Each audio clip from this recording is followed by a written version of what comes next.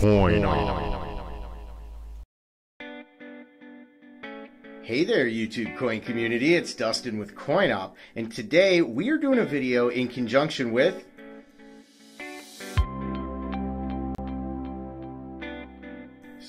we are doing this with Couch Collectibles. If you have not seen video one, there is the first part of this over on Justin's channel over on Couch Collectibles. I will post links down in the comments to absolutely everything, so make sure you go over and check out that video if you haven't seen that first. Now, this is a video on coin searching Jefferson Nickels.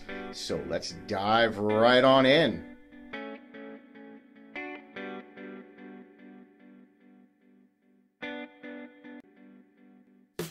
While you are coin searching, if you put aside your Jefferson Nickels, there is just a pile of stuff to look for in that coin series. Now, Justin over on Couch Collectibles does have part one of this video listed where he is showing you all of the main key dates, semi key dates, the stuff that you really want to be looking for, the silver and the key dates. Now, in this video, I'm going to show you while you are searching your Jefferson Nickels which varieties that you should be looking for the double dies, repunched mint marks, things along those lines. So let's take a look at them.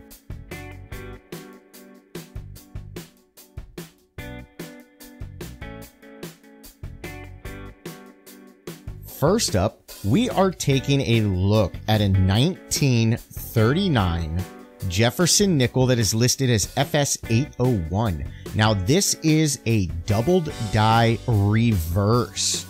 On this one, doubling shows very strong on the entire reverse. It shows on the Monticello building, on 5 cents, on United States of America. Well, the entire reverse, and it is very, very strong. You do not need a jeweler's loupe to see it. If you happen to find one of these beautiful varieties while you are coin searching, they typically trade in circulated conditions as low as $50 and upwards of $350, while uncirculated examples start out at around $400 and can trade as high as $21,000. So this can be quite valuable. Okay, now we are moving on to the very popular 1942 Denver Mint Jefferson Nickel now, this is a D over D. This is a repunched mint mark, and this is a really unique repunched mint mark. This is a very, very popular one in the entire series. This one, the primary mint mark was punched over top of a horizontal D mint mark. When they were originally punching in the mint mark, the mint employee messed up and just repunched right over top of it, creating this beautiful variety. Now, if you're lucky enough to find one of these, circulated examples start out at around $70 and they can trade all the way up to $1,250, while uncirculated examples start out at around $1,500 and can trade all the way up to $14,500.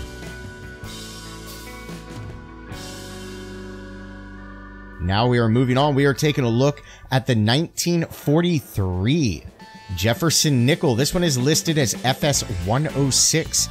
This is a double die obverse. Doubling shows very well and very strong on the entire obverse.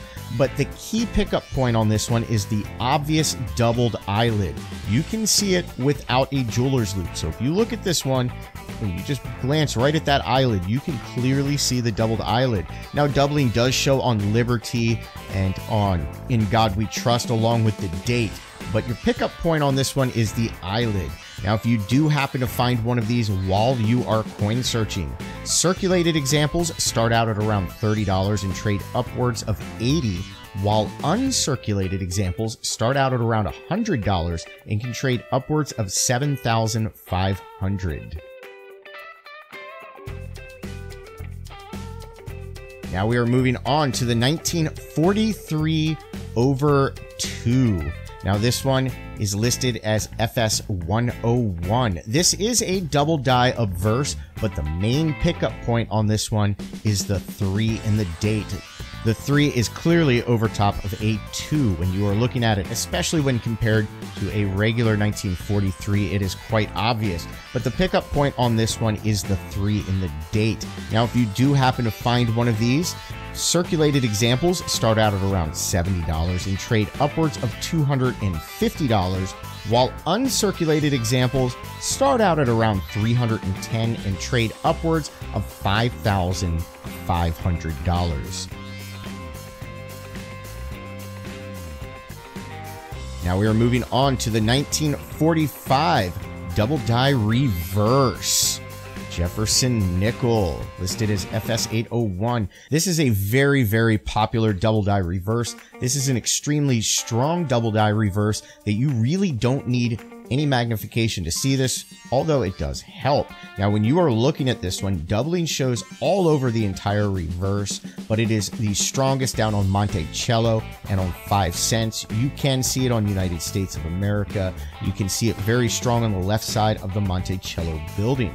Now, if you do happen to find one of these extremely beautiful double dies, they start out in circulated conditions trading at around $20 and upwards of $80, while uncirculated examples tend to trade between $110 and upwards of $15,000. Now we are moving on to the 1949 Denver Mint Jefferson Nickel. This one is a D over S. This is another over mint mark. Now, this one, a D mint mark, which is the primary mint mark, was punched over top of an S mint mark. In order for the mint to save some money and preserve the dies, they used some of the San Francisco dies and they were supposed to polish away the mint mark and repunch in the D mint mark so that they could produce more Denver mint ones. And well, the S mint mark didn't get fully polished all the way away, creating this beautiful variety. Now, if you happen to find one of these, they start out in circulated conditions and low grade at around $5 and trade upwards of $30, while uncirculated examples start out at around $40 and can trade upwards of $1,050. Okay, now we are taking a look at a 1954 S over D. This is another over mint mark. This is a 1954 San Francisco Jefferson nickel with mint mark punched over top of a Denver mint. Now, in order to save money, the mint had taken some of the Denver Mint dies that year that were not fully used, and they polished off the mint mark and repunched in the mint mark for San Francisco in order to use some of those dies. And well, some of the mint mark did not get polished all the way away creating this beautiful variety. Now, if you happen to find one of these while you are coin searching, circulated examples start out at around $5 and can trade upwards of around 20, while uncirculated examples start out at around $25 and can trade upwards of $1,250. Now we are taking a look at a 1955 Denver Mint Jefferson Nickel. This is a D over S mint mark variety, yet another over mint mark. Now, over mint marks are pretty scarce in all of our coinage series, so anytime one of them is out there, they typically are pretty popular, and this one is quite a popular variety.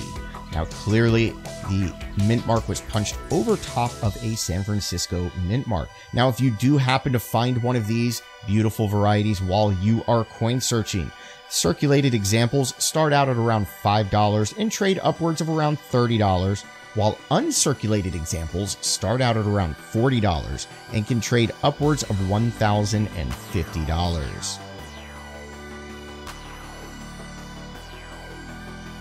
Now we are taking a look at a 1975 Denver Mint Mark Jefferson Nickel. Now this one is listed as FS 401.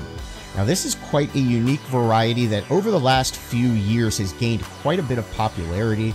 I get asked quite a few questions about this one and to be honest, I don't have a whole lot of information on it.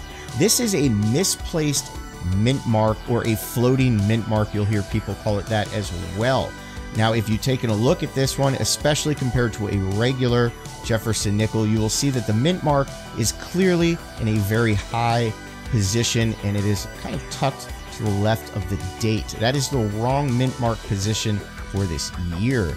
Now, I do not exactly have values on this one. I can't find too many values. I have seen some of these trade as low as $50 and as high as 200 so there's a baseline for you, but I do not have values on that. So that is a beautiful variety for you to look for that is definitely gaining some popularity.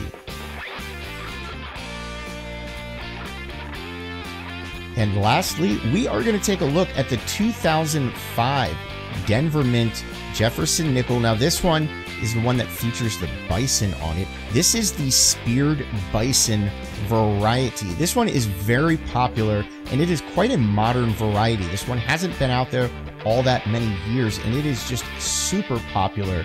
You can find lots of examples of this trading on eBay and various auction sites. Even Heritage has some listed. Now, when you are looking at this one, you will see on the bison, starting in the center of the bison's back and coming out down through his belly, you will see a die gouge that runs straight through it, giving it the appearance of being speared. Now, if you happen to find one of these while you are coin searching, really low grade examples start out at around $8 and can trade upwards in circulated conditions for around $80, while uncirculated examples start out at around 110 and can trade upwards of $5,000. So even though this is a very modern variety, it can be quite valuable in a beautiful uncirculated grade.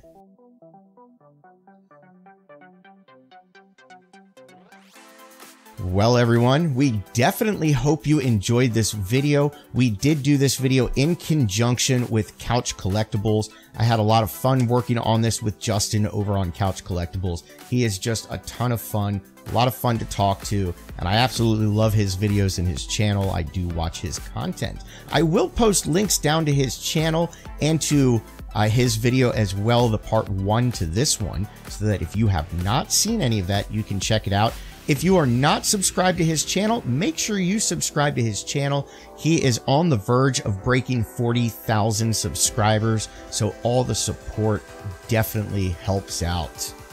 Well, if you enjoyed this video, you can also do us a huge favor by hitting that thumbs up button, leaving us a comment, and if you are not yet subscribed to our channel, click on that subscribe button.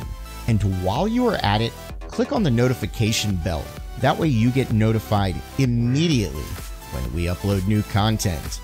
Well, everyone, until next time, have fun.